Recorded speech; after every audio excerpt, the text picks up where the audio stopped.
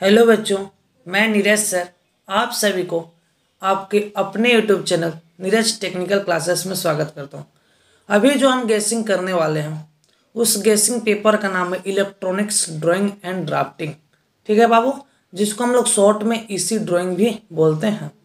इसमें हम लगभग दस से बारह ही क्वेश्चन लेकर आए हैं सब्जेक्टिव में। वो आप लोग एग्ज़ाम में हंड्रेड परसेंट आ जाएगा। आप लोग सब्जेक्टिव का कोई टेंशन नहीं करें। रहा बात ऑब्जेक्टिव का ऑब्जेक्टिव के लिए बाबू, आप लोग प्रीवियस तीन से चार ईयर का क्वेश्चन बैंक को फॉलो कर लीजिएगा। और जिसके पास अगर किसी प्रकाशन का मॉडल पेपर उपलब्ध हो, उसको पढ़ लीजिएगा। चलिए बाबू वीडियो स्टार्ट करने से पहले, जो बच्चे मेरे इस वीडियो को देखेंगे, कम से कम एक लाइक और एक शेयर अवश्य करके जाए। चलिए बाबू, एक और ही बिग इम्पोर्टेंट न्यूज़ है, जिस न्यूज़ में हम यह बताएँगे कि जो मेरा गया में जो कोचिंग चलता है, वो ऑफलाइन क्लास एक अप्रैल से चल रहा है, ठीक है? कितना से चालू करें बाबू? एक अप्रैल से। जिस क्लासेस का नाम है जीनियस टेक्निकल क्लासेस ठीक है? ऑनलाइन में नीरज टेक्निकल क्लासेस नहीं चलेगा और ऑफलाइन में जो मेरा बैच चलेगा, वो जीनियस टेक्निकल क्लासेस चलता है और एक अप्रैल से फोर्थ सेमेस्टर का न्यू बैच स्टार्ट हो रहा है, ठीक है बाबू? चलिए, अब हम क्वेश्चन को जान लेते हैं और क्वेश्चन को किस तरह से एग्ज़ाम में बनाएँगे ताकि एग्जामिनर हम लोग को फुल में फुल मार्क्स दे दे, किसी तरह के कोई मार्क्स नहीं काटे, ठीक है? तो बाबू, जो पहला क्वेश्चन है draw symbol of passive element ठीक है? अब पैसिव एलिमेंट का सिंबल ड्रा करने को आएगा। पैसिव एलिमेंट आप लोग समझ रहे हैं। पैसिव एलिमेंट में आ सकता है। रेसिस्टर जनरल क्या होता है। रेसिस्टर वेरिएबल ये सब आ सकता है। कैपिसेटर जनरल कैपिसेटर वेरिएबल ये सब आप लोग का आता है ना जो, वो पैसिव एलिमेंट में आ जाता है। ठीक है? चलिए बाबू तो इसको अगर आप लोग को एग्ज़ाम में आएगा तो आप लोग को फोर मार्क्स में क्वेश्चन आ सकता है। किसी तरह का कोई दिक्कत नहीं होगा। ठीक है? जो उसके बाद वाला सेकेंड क्वेश्चन है बाबू। Draw logic diagram of half adder and writes is truth table कहने का मतलब इसका जो लॉजिक बाबू डायग्राम होगा, ठीक है, उसको आप लोग बना दीजिएगा with truth table truth table के साथ, ठीक है? जो तीसरा क्वेश्चन है बाबू, वो क्वेश्चन मेरा बोल रहा है ड्रा ठीक है circuit diagram of CC transistor ठीक है ट्रांजिस्टर का सर्किट डायग्राम बना कौन सा ट्रांजिस्टर का बाबू? सीसी टाइप ऑफ़ ट्रांजिस्टर देख लीजिएगा, जिसमें सीसी बहुत ही इंपॉर्टेंट है।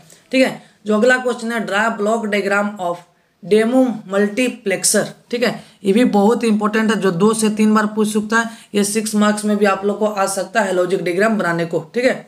अगला जो क्वेश्चन है draw logic diagram of one ratio four multiplexer ये भी क्वेश्चन दो बार पूछा गया है, इस बार भी आने का संभावना है। इसलिए आप लोग एग्ज़ाम में जाने से पहले एक बार देख लीजिएगा, हम जितना आप लोग का सब्जेक्टिव सीख के हैं, यही सेम टू सेम डाटा के साथ आप लोग एग्ज़ाम में आएगा। आप लोग एग्ज़ाम में दस को सब्जेक्टिव मेरा पढ़ के और फिफ्टी मार्क्स सब्जेक्टिव में लाइए, ठीक है?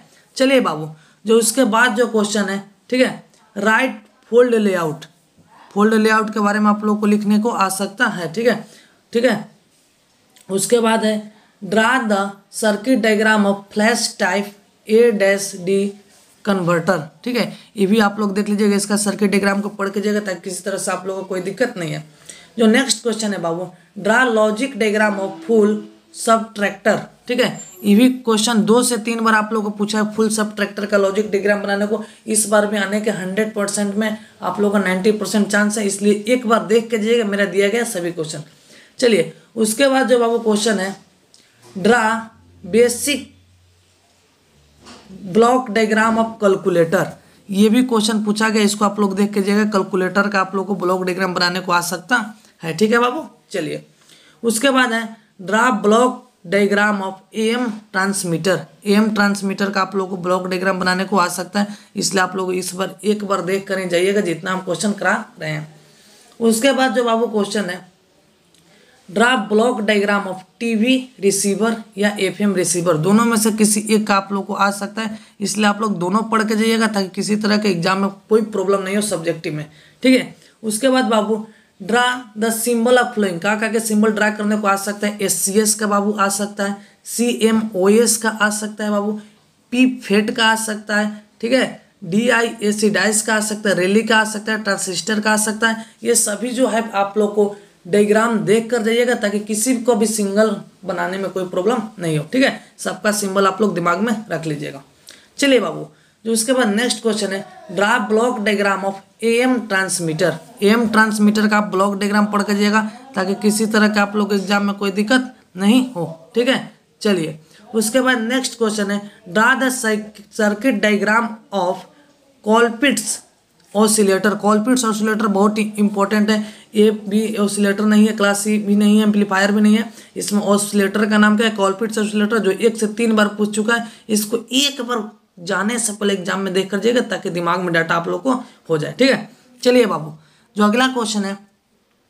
Draw the freehand sketching of following free hand sketch से आप लोगों को क्या क्या बनाने को आ सकता है? नैंड गेट मल्टी वाइब्रेटर बनाने को आ सकता है स्टेटर बनाने को आ सकता है एंड गेट आ सकता है स्पीकर आ सकता है। ये जितना भी multi vibrator stator and gate ठीक है? स्पीकर ये सभी को देख लीजिएगा ताकि आप लोगों को किसी तरह से एग्ज़ाम में कोई प्रॉब्लम नहीं हो। फिफ्टी में फिफ्टी कैसे भी आप लोग को सब्जेक्टिव बनाना है, बस दस क्वेश्चन देख लीजिए।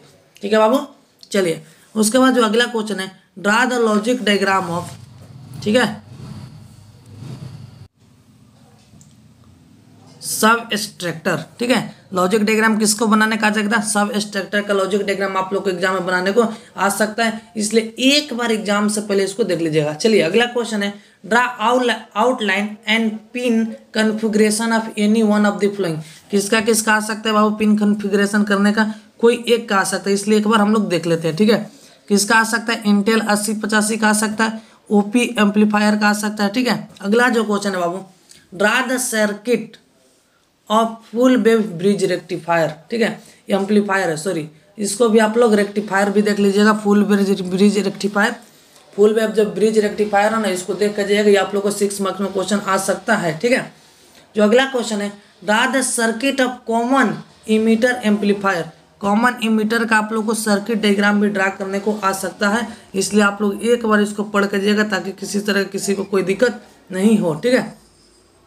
उसके बाद है draw the logic circuit of half adder इसको भी आप लोग देख कर जाइएगा आप लोगों को किसी तरह का दिक्कत नहीं है। ठीक है? दो क्वेश्चन तीन क्वेश्चन पीडीएफ में नहीं आ पाया, उसको आप लोग देख लीजिए। Draw the block diagram of TV transmitter किसका ब्लॉक डायग्राम आ सकता है बाबू? टीवी ट्रांसमीटर का। ठीक है? एक बार देख के जाइएगा टीवी ट्रांसमीटर का ब्लॉक डायग्राम ठीक है? चलिए बाबू, उसके बाद जो क्वेश्चन है, उसको भी देख लीजिए। एक और दो पीडीएफ है। चलिए। उसमें यह बोला है draw the block diagram of multi vibrator multi vibrator बहुत ही इंपॉर्टेंट है। इसका आप लोग ब्लॉक डायग्राम देख कर जाइएगा ठीक है बाबू? ब्लॉक डायग्राम देख लीजिएगा मल्टी वाइब्रेटर का, ठीक है? अगला जो लास्ट क्वेश्चन है draw outline and pin configuration of I C पाँच सौ पचपन टाइमर आई सी पाँच सौ पचपन ठीक है, इसको आप लोग एक बार देख के जाइएगा किसका? आई सी पाँच सौ पचपन का।